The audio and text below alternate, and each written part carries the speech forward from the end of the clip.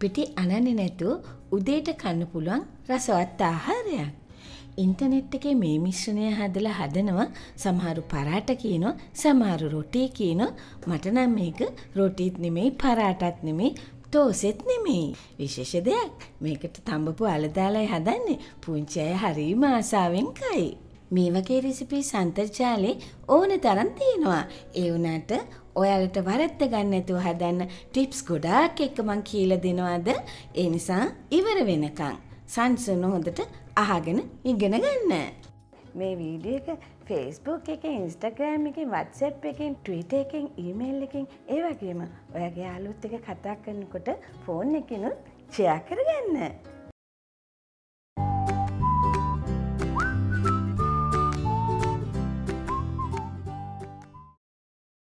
Ivan අපේ අම්මා YouTube channel එකට ඔබ ආදරෙන් පිළිගන්නවා.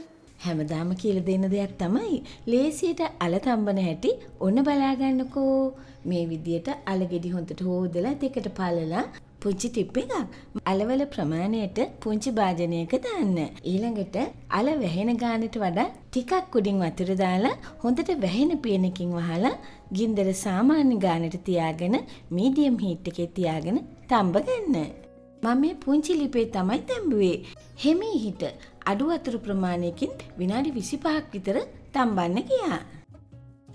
අල තම්බපු වතුර ටික අහක ගියෙත් නැහැ. අනිත් ටිප් එක තමයි රස්නේ පිටින්ම තමයි අල පොත්ත ගලවන්න ඕනේ. ඊළඟට මෑෂයකින් පොඩි කරනවා නම් එක එක වෙන වෙනම දාලා පොඩි කරන්න. මෑෂ එකක් නැත්තම් අතින් උනත් ඔයාලට පොඩි කරගන්න පුළුවන් මෙන්න මේ වගේ. හැබැයි රස්නේ රස්න යනකං ගෑරුප්පයෙන් පොඩි කරගන්න පුළුවන් එහෙම නැත්තං පොල් කටු හැන්දක පිටු පැත්තෙම හොඳට පොඩි කරන්න පුළුවන්. මේ රොටිය මං කීප සැරයක් හැදවා අල කෑලි තිබුණොත් හරියට පිම්බිලා එන්නේ නැහැ. එහෙම හදල බලත් තමයි ඔයාලට දෙන්නේ. ඔයා අල කෝප්පයක් ගන්නවනම් පොඩිකරපුවා පිටි ඒ කෝප්පෙන්ම එක හමාරක් කරගන්න.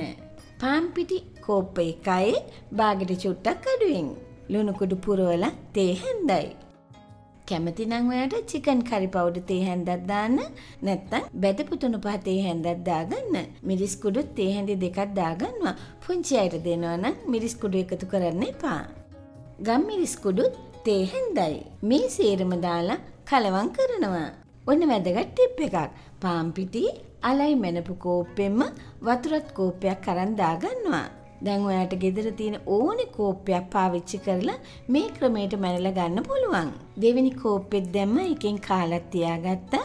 පිටි මිශ්‍රණය හොඳට කලවම් වුණාට පස්සේ අපි පොඩි කරගත්තු අල ටික පිටි මිශ්‍රණයට දාලා අතින් හොඳට පොඩි කරනවා. දැන් ඉතුරු වතුර ටිකක් දාගන්නවා. ඔක්කොම වතුර කෝප්ප දෙකයි. පාන් පිටි කෝප්ප එකමාරයි අල කෝප්පයයි වතුර කෝප්ප දෙකයි. අතින් මං අනනකොට මට තේරුණා අල කෑලි තියෙනවා කියලා. මං කිව්වේ මම මීට කලින් හදලා බලලයි මේ දෙන්නේ කියලා. කලින් හදනකොට හරියට ආවේ නැහැ. ඒ අල කෑලි තිබුණ නිසා. දැන් මං අල කෑලි ටික මේ වගේ පොල් කිරි පෙරණ එකකට දාලා පොඩ්ඩක් පොඩි කරගන්නවා. ඔයාට පුළුවන් කලින්ම මේ වගේ පොල් කිරි පෙරණ එකට දාලා අල ටික පොඩි කරලා අරගන්න. එතකොට තවත් ලේසියි. දැන් අපේ මිශ්‍රණය හැන්දෙන් හොඳට කලවම් කරලා වක් කරලා බලන්න ඕනේ. වැක්කිරෙන ගානට නැත්තම් තව වතුර චුට්ටක් දාලා වක් කරලා බලන්න ඕනේ. ඉස්සෙල්ලා අපි පිටි මිශ්‍රණයටත් ලුණු තී හැන්දක් දැම්මා. දැන් ඔක්කොම කලවම් වුණාට පස්සේ ලුණු රස බලලා මදි නිසා තව කපාපු තේ හැන්දක් ලුණු කුඩු දාගන්නවා. දාලා හොඳට කලවම් කරලා මෙන්න මේ විදියට පෑන් එකට වක් කරගන්නවා. ලිපේ ගින්දර මධ්‍යම ප්‍රමාණයෙන් තියාගන්න. මේ මිශ්‍රණයේ තියෙන විශේෂත්වය තමයි හොඳ පැතලි හැන්දකින් මේ විදියට කරකවනකොට තද කරන්න එපා. හැන්ද තද කරොත් තෝස එකක් වගේ. වැදගත් දේ තමයි උඩ තියෙන තෙත ගතිය ගිහිල්ලා පාට වෙනස් වුණාම තමයි අනිත් පැත්ත හරවන්නේ. වැදගත් ටිප් එක මෙන්න මේකයි. මං කිව්වේ මං කලින් හැදුවා කියලා. ස්පැචූල එක හරි හැන්ද හරි හොඳට ඇතුළට දාන්න ඇලෙනවා නම් අනිත් පැත්ත හරවන්න එපා. එතකොට මේ රොටිය ඉරෙන්න පුළුවන්. මේ වගේ 10ට ගණන් කරන්න අනිත් පැත්ත දාන්න. 10ට ගණන් කරන්න අනිත් පැත්ත දාන්න. දෙතුන් සැරයක් දෙපැත්ත දාලා ලිපේ ගින්දර වැඩි කරනවා. මෙන්න මේ වගේ හොඳ කපුරෙද්දක් අරගෙන වටේට වටේට කරකවනවා. මීට කලින් ඔයා මේ රොටිය හදලා පිම්බුනේ නැත්තම් ඔන්න පිම්බෙන්න හදන රහස. දැක්ක නේද?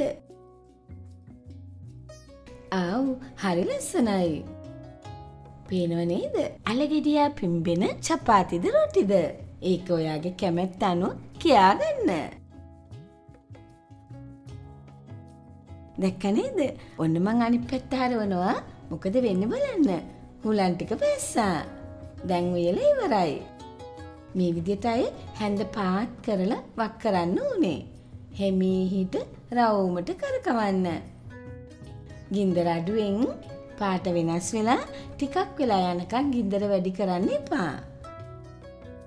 ස්පැචූලයි කරි හැන්ද හරි මේ විදිහට ඇතුළටම දාලා එකපාරට හරවන්න. මීඩියම් හීට් එකේ ගින්දර මධ්‍යම ප්‍රමාණය තියාගෙන දෙපැත්ත දඳා ලාවට බ්‍රවුන් වේගෙන එනකොට රෙද්දකින් අතින් මේ විදියට හෙමිහිට ප්‍රෙස් කරන්න. හෙමිහිට හොඳේ තද ගොඩාක් තද කරන්න එපා. ඔන්න අපේ අම්මා ටිප්ස් ඔක්කොම කියලා දුන්නා. සමහර වෙලාවට ස්පැචූලයිකාරි හැන්ද හරි වැදිලා හිල්ලුනොත් පිම්බෙන්නේ නැතු යයි.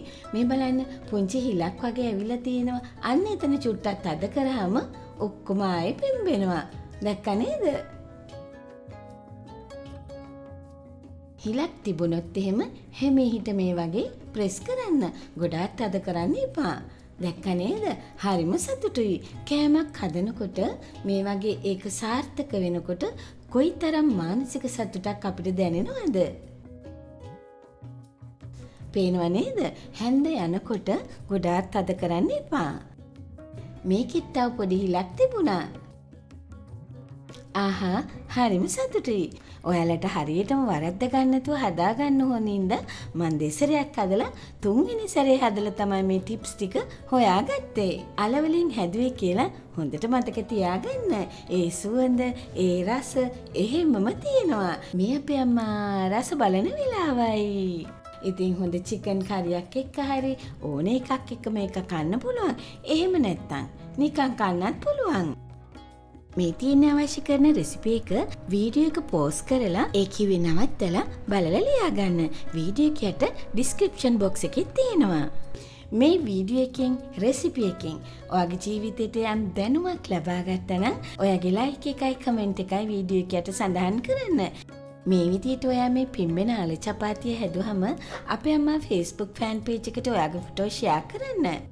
මේ විදිහටම හොඳ පිම්බෙන අලපරාට හැදුව දෙදහස් දාහතේ අවුරුද්දේ. අපේ අම චැනල් එකෙන් තමයි ටිප්ස් එක ප්‍රථම වරට රොටිය පිම්බෙන හැටි කියලා දුන්නේ. චිකන් පරාට, බිත්තර පරාට මේ වැහැදුව මේ වීඩියෝ බලන්නවාගේ දකුණු අත පැත්තේ තියෙන මේ රතු පාට ඩෑන්සින් නිසාලේ උඩ කෙළවර තියෙන ලින්ක් එක ක්ලික් කරන්න. ලෝකයේ වැඩිම දෙනෙක් සිංහලෙන් උයන්න ඉගෙනගෙන Facebook කරහා සියදහස් ගණනින් ෆොටෝ සෙවන වැඩිම සබස්ක්‍රයිබර්ස්ලා ප්‍රමාණයක් ඉන්න ශ්‍රී ලාංකික අපේ අම්මා චැනලේ සමග ඔබත් එක්වන්නට නම් සබස්ක්‍රයිබ් බටන එකයි ඊළඟට තියෙන පුංචි සීනුවයි ප්‍රෙස් කරලා ඊට පස්සේන ඕල් කියන බටන එක ප්‍රෙස් කරන්න. බොහෝම ස්තුතියි.